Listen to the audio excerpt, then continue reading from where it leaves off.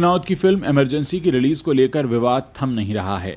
शिरोमणि गुरुद्वारा प्रबंधक कमेटी यानी एसजीपीसी ने विवादित दृश्यों के साथ फ़िल्म इमरजेंसी का ट्रेलर रिलीज़ करने के आरोप लगाते हुए अब जी स्टूडियो को कानूनी नोटिस भेज दिया है। इतना ही नहीं, ब्रॉडकास्ट मंत्रालय और सेंसर बोर्ड को लेटर लिखकर उन्होंने स्क्रिप्ट की जाँच करने की मांग भी की है।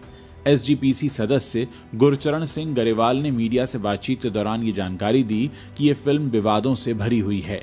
इसकी मुख्य अदाकार कंगना रनौत, शुरू से ही पंजाब, सिख और किसानों के लिए कई सारे विवादित बयान देती आई हैं। इमरजेंसी को खत्म करने के लिए पंजाब और अकाली दल के योगदान के बारे में तो इसमें कुछ बताया ही नहीं गया है।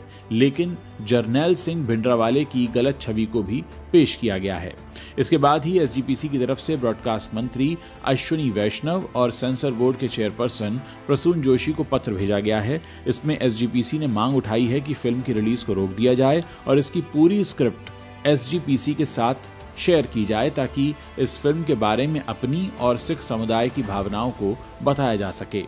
कंगना ने कुछ दिन पहले इस फ़िल्म का ट्रेलर अपने सोशल मीडिया अकाउंट पर शेयर किया था, जिसमें पंजाब में 1980 के दशक में आतंकवाद के दौर को भी दिखाया गया है। इसमें कैरेक्टर को जर्नैल सिंह भिंडरावाला भी बनाया गया है, जिसे कट्टरपंथी सिख संत के तौर पर देखते हैं। सरबजीत खालसा का मानना है कि फ़िल्म में ब्लू स्टार ऑपरेशन को लेकर भी काफ़ी कुछ दिखाया गया है, जो जर्नैल सिंह भिंडरावाला को खत्म करने के लिए ही चलाया गया था।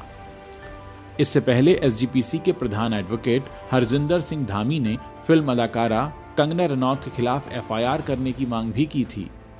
इस फ़िल्म के बारे में यह भी कहा गया था कि कंगना रनौत अक्सर जानबूझकर सिखों की भावनाओं को भड़काने वाली बातें करती रहती हैं। सरकार उनके खिलाफ कार्रवाई करने के बजाय उन्हें बचा रही है। सरकार को कंगना रनौत के खिलाफ फ़िल्म इमरजेंसी के ज़रिए सिखों की धार्मिक भावनाएँ भड़काने का मामला दर्ज करना चाहिए। बहरहाल, इस पूरे मामले पर अभी तक कंगना रनौत की तरफ़ से कोई सफ़ाई नहीं आई है और ये फ़िल्म 6 सितंबर को रिलीज़ के लिए तैयार है।